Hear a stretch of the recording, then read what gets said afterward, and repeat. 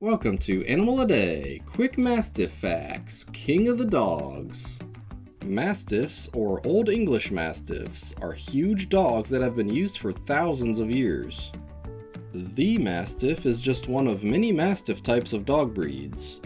Other Mastiff types include Bulldogs, Rottweilers, Great Danes, Boxers, and Cane Corsos, among many others. Mastiffs have been used for several millennia by many civilizations. They were prized for being massive, muscular dogs that excelled at various tasks. A Mastiff dog named Zorba was found to be the biggest recorded dog in history in 1989. He was over 3 feet or 91 centimeters tall, over 8 feet or 2.4 meters long, and 343 pounds or 156 kilograms in weight. For the full video, tap above or use the link in the description, but anyway,